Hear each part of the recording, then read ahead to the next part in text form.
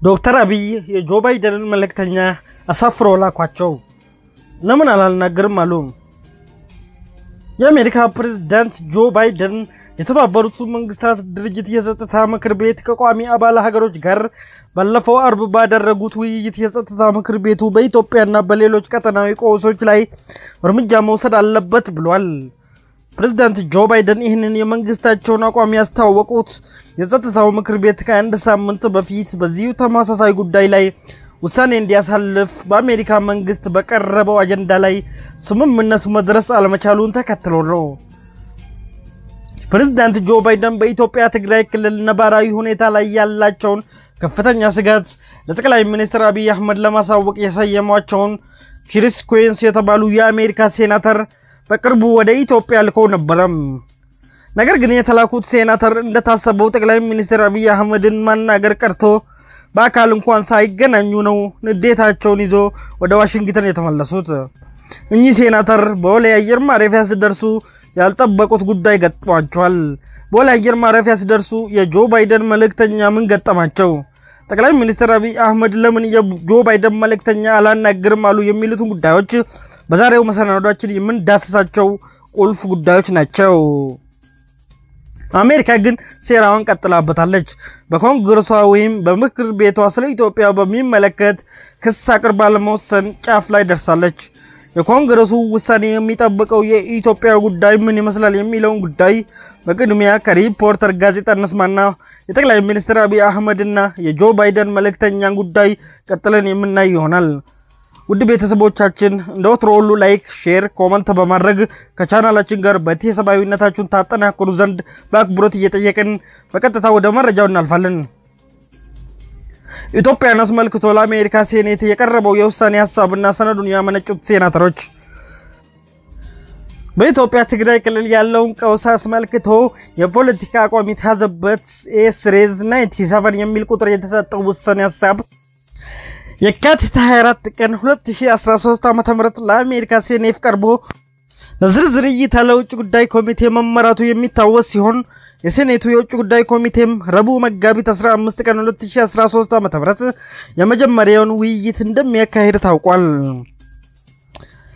በሴኔት የቀረበ የውሳኔ ሀሳብ የኢትዮጵያ መንግስት ህወሓትና ሌሎች በትግራይ ክልል ግጭት ውስጥ እየተሳተፉ ያለው ኃይሎች በአስቸኳይ ውጊያ እንዲያቆሙ፣ የክልሉ ነዋሪዎች ሰብአዊ መብቶች እንዲጠብቁ፣ ያለምንም አይነት የእንቅስቃሴ ገደብ ሰብአዊ እርዳታ ማድረስ የሚቻልበትን መንገድ እንዲያመቻቹና በክልሉ ተፈጽሟል የተባሉ ሰብአዊ ወንጀሎችን በገለልተኛ አካል ለማጣራት እንዲተባበሩ ጥሪ ለማቅረብ የተሰናዳ እንደሆነ የሚገልጽ ስያሜ ተሰጥቶታል። የውሳኔ ሀሳቡ ከላይ የተጠቀሰውን ጥቅል ጭብጥና ስያሜ ይዞ የቀረበ ቢሆንም የውሳኔ ሀሳቡን ለማመንጨት መነሻው ተብሎ ከተጠቀሱት መሰረታዊ መካከል ከትግራይ ክልል ቀውስ ውጭ በኢትዮጵያ ፖለቲካ አሳሳቢ ናቸው ያላቸውን ሌሎች ክስተቶችን ጠቅሷል። ከነዚህ መካከል ኢትዮጵያ ካለፉት ቅርብ ዓመታት ወዲህ በርካታ የሰብአዊ መብት ጥሰቶችና የሰብአዊ ቀውስ ፈተናዎች እየገጠሟት መሆኑን በብሔር ማንነት ላይ ያነጣጠሩ ግጭቶች፣ የማህበረሰብ ግጭቶች፣ የተፈጥሮ አደጋና የፖለቲካ አለመረጋጋት ውስጥ ትገኛለች የሚሉት ይገኙበታል። በሌላ በኩል የኢትዮጵያ መንግስት ጥቂት የማይባሉ ተቃዋሚ የፖለቲካ ፓርቲዎችን በሰላማዊ መንገድ የመሰብሰብ መብቶችን መገደቡ፣ በርካታ ቁጥር ያላቸው የተቃዋሚ ፓርቲ አመራሮችን ማሰሩን፣ ፍትህ የማግኘት መብታቸውንም በተለያዩ አስተዳደራዊ ምክንያቶች እንዲጓተት ያደረገ መሆኑን የውሳኔ ሀሳቡን ለማመንጨት መነሻ ናቸው ከተባሉት አሳሳቢ ምክንያቶች መካከል ተጠቅሷል። ከትግራይ ክልል ቀውስና በሌሎች የኢትዮጵያ አካባቢዎች በየጊዜው ከሚነሱ የብሔር ግጭቶች፣ የፖለቲካና ሰብአዊ መብቶች ላይ ከሚደረጉ አፈናዎች በተጨማሪ ኢትዮጵያ በምትገኝበት ቀጠና የሚስተዋሉ አሉታዊ ፖለቲካዊ እንቅስቃሴዎችም በአሳሳቢነት ተጠቅሷል። የትግራይ ክልል ግጭት በውስብስብ በሆኑ ቀጠናዊና ዓለም አቀፋዊ ሁነቶች ውስጥ የተፈጠረ መሆኑን ከነዚህ መካከል ታላቅ የህዳሴ ግድብን አስመልክቶ በኢትዮጵያ በግብፅና በሱዳን መካከል ያለው ልዩነት ያልተፈታ መሆኑን በኢትዮጵያና በኤርትራ መካከል የተፈጠረው የሰላም ስምምነት በሶማሊያ የሚንቀሳቀሰው አልሸባብ የደቀነው የደህንነት ስጋት ባለበት ዓለም አቀፋዊና ቀጠናዊ ኃይሎች ኢትዮጵያ ባለችበት አካባቢ የፖለቲካ የበላይነት ለመያዝ ከፍተኛ ትግል እያደረጉ መሆናቸውን በኢትዮጵያና በሱዳን መካከል የተፈጠረው አሳሳቢ የድንበር ግጭትና ሱዳን አቅሙ ባልጠና ዲሞክራሲ ውስጥ የመንግስት ሽግግር እያደረገች የምትገኝ መሆኗ በአሳሳቢነት የቀረቡ ውጭያዊ ምክንያቶች ናቸው ተብሏል። ቀጠናዊና ዓለም አቀፋዊ ፖለቲካዊ ፍጥጫዎች ኢትዮጵያ የምትገኝበትን ቀጠና በከበቡበት ወቅት ከመቶ ሚሊዮን በላይ ሕዝብ ያላት ኢትዮጵያ በትግራይ ክልል ቀውስና በሌሎች ውስጣዊ ፖለቲካዊ ቀውሶች ውስጥ መግባቷ ለኢትዮጵያም ሆነ ለዓለም ሰላም አስጊ በመሆኑ የውሳኔ ሀሳቡ በአሜሪካ ሴኔት እንዲጸድቅ መቅረቡን የውሳኔ ሀሳቡ ያስረዳል። ይህንንም መሰረት በማድረግ የኢትዮጵያ መንግስትን ጨምሮ ኤርትራና ህወሓት እንዲሁም የአሜሪካ መንግስት ሊያደርጉ ይገባቸዋል ያላቸውን ሰባት ነጥቦች የውሳኔ ሀሳብ አስፍሯል። መዝርዝሮችን አካቶ በቀረበው ባለ ሰባት ነጥብ የውሳኔ ሀሳብ ውስጥ ከመጀመሪያው እስከ አምስተኛው ነጥብ ድረስ የተዘረዘሩት ክስተቶቹን ለማውገዝ ስጋትንና አድናቆትን ለመግለጽ ጥቅም ላይ ውሏል። በዚህ መሰረት የአሜሪካ መንግስት በኢትዮጵያ መንግስትና በህወሓት መካከል የተፈጠረው ፖለቲካዊ መካረር ወደ ግጭት መቀየሩ ተገቢ እንዳልነበረ በመጥቀስ በግጭቱ ወቅትም ሆነ ግጭቱን ተከትሎ በሲቪሎች ላይ የተፈጸሙ ጥሰቶችን እንደሚያወግዝ ያስታውቃል። የሱዳን መንግስት ከትግራይ የተፈናቀሉ ስደተኞችን መቀበሉ በማድነቅ የኤርትራ ጦር ከትግራይ ክልል እንዲወጣ ይጠይቃል። በትግራይ ክልል የተቋረጡ መሰረታዊ አገልግሎቶች በአስቸኳይ ተጠግነው ወደ አገልግሎት እንዲገቡ በመጠየቅ የመጀመሪያዎቹን አራት ነጥቦች ያጠናቅቃል። በተራ ቁጥር ስድስት ስር ደግሞ በትግራይ ክልል ግጭት እየተሳተፈ የሚገኘው በሙሉ በፍጥነት ግጭቱን እንዲያቆም የሚጠይቅ ሲሆን ለሰብአዊ እርዳታ አቅርቦት ያልተገደበ እንቅስቃሴ እንዲፈቅዱና በግጭቱ የተፈጸሙ ኢሰብአዊ ጥሰቶች በገለልተኛ አካል እንዲጣሩ ትብብር እንዲያደርጉ ጥሪ አቅርቧል። የውሳኔ ሀሳቡ በሴኔቱ የሚጸድቅ ከሆነ በቀጣይ ፖለቲካዊ አንድምታ የሚኖራቸው የውሳኔ ሀሳቡ ክፍሎች በተራ ቁጥር አምስት እና ሰባት ላይ የተጠቀሱት ናቸው። በተራ ቁጥር አምስት ስር ለኢትዮጵያ መንግስት የቀረበ ጥሪ የተቀመጠ ሲሆን በዚህም የኢትዮጵያ መንግስት የህወሓት አባላትን በቁጥጥር ስር ለማዋል የሚያደርገውን ጥረት በተቻለ መጠን በዝቅተኛ የኃይል እርምጃ መከናወን እንደሚገባና በቁጥጥር ስር ያዋሉ የህወሓት አባላት አያያዝም የኢትዮጵያንና ዓለም አቀፍ ሰብአዊ መብት ህጎችን ባከበረ መንገድ መሆኑን ማረጋገጥ አለበት ይላል። በዚሁ ተራ ቁጥር አምስት ስር ለኢትዮጵያ መንግስት የቀረበው ጥሪ በፖለቲካ እንቅስቃሴያቸው ምክንያት የታሰሩ የተቃዋሚ ፖለቲካን አመራሮች እንዲፈታ፣ በተመሳሳይ በዘገባቸው ምክንያት የታሰሩ ጋዜጠኞችን እንዲለቅ፣ የሁሉም ኢትዮጵያውያን ሰብአዊ መብቶችም ጨምሮ የመናገርና በፖለቲካ የመሳተፍ መብቶቻቸውን በብሔራቸው በፖለቲካ አቋማቸውና ለገዢው ፓርቲ ባላቸው ቅርበት መድሎ ሳያደርግ እንዲያከብር ጥሪ አቅርቧል። በተጨማሪም በኢትዮጵያ ዲሞክራሲ ለመትከልና ወደ ዲሞክራሲ የሚደረገውን ሽግግር የተቃና ለማድረግ ሁሉም ወገን የሚሳተፍበት የብሔራዊ መግባባት ውይይት እንዲኖር፣ ግጭቶች በዘላቂነት እንዲፈቱ ለማስቻል መንገዱን መጥረግ አለበት የሚል ጥሪ አቅርቧል። በተራ ቁጥር ሰባት ስር የተቀመጠው የውሳኔ ሀሳብ የአሜሪካ መንግስት የውጭ ጉዳይ መስሪያ ቤት፣ የገንዘብ ግምጃ ቤትና የአሜሪካ ተራድኦ ተቋም ዩኤስአይዲ የቀረበ ነው። እነዚህ ተቋማት ከኢትዮጵያና ከኤርትራ መንግስት እንዲሁም ከህወሓት አመራሮች ጋር በመነጋገር በትግራይ ያለው ግጭት በአስቸኳይ እንዲቆሙ የማመቻቸት ስራ እንዲያከናውኑ ጥሪ አቅርቧል። በተመሳሳይ ሁሉም ኢትዮጵያውያን የሚሳተፉበት የብሔራዊ መግባባት ውይይት የሚመቻችበት ሁኔታ እንዲፈጠር እንዲያግዙ ከተቋረጠ የአሜሪካ እርዳታ ውስጥ ህይወት ለማዳን የሚን እርዳታ ለኢትዮጵያ የሚቀርብበትን መንገድን ማመስፈርት እንዲቀርብና ሰብአዊ እርዳታ እንዲያቀርቡ ጥሪ አቅርቧል። በትግራይ ግጭት የተፈጸሙ ኢሰብአዊ ጥሰቶች በገለልተኛ ወገን እንዲጣሩና ተፈጽሟል ተብሎ የሚቀርቡ ሪፖርቶች ከተረጋገጡ ጥሰቱን በፈጸሙት ላይ ጥብቅ የሆነ ተጠያቂነት መውደቁን እንዲያረጋግጡ ጥሪ አቅርቧል።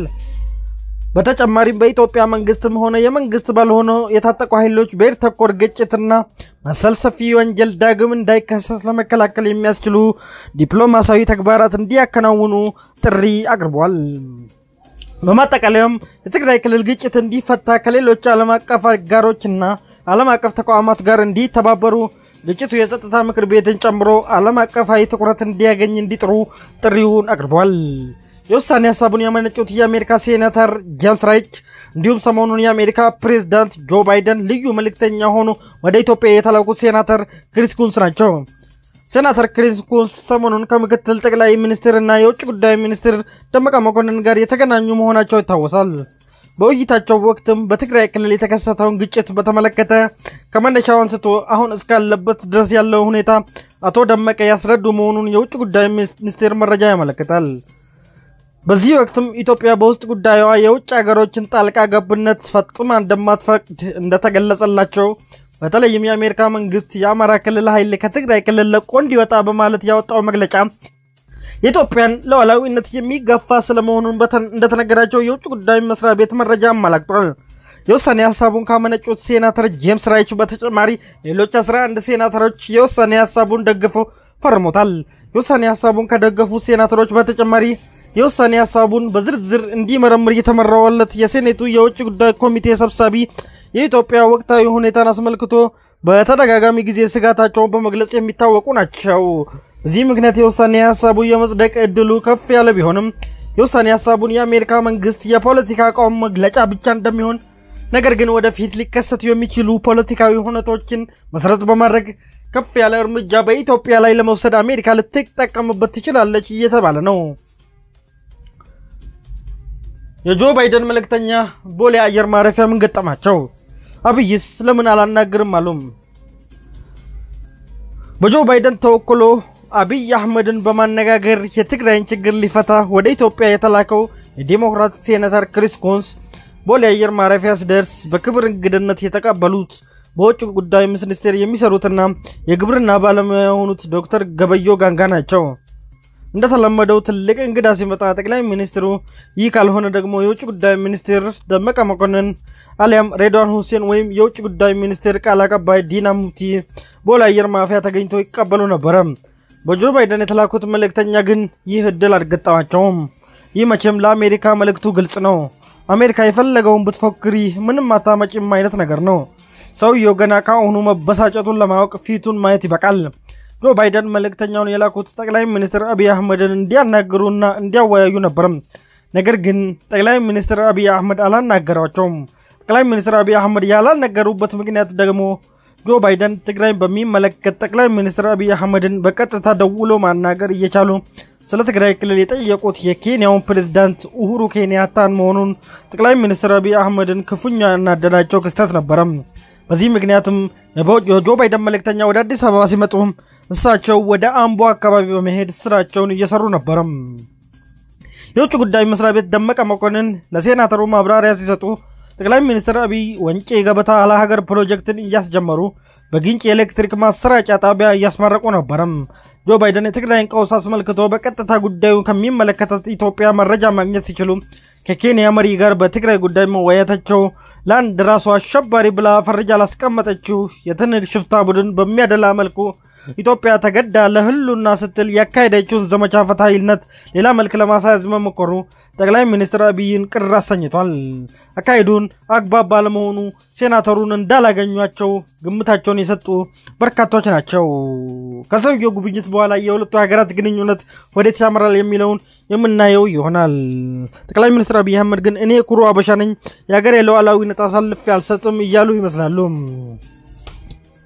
የተከበራችሁ የማዕበል መረጃ ቤተሰቦች አሁን ያዝንላችሁ መረጃ ይህን ይመስላል። በሌላ መረጃ እስከምንገናኝ ቸር ሰንብቱ።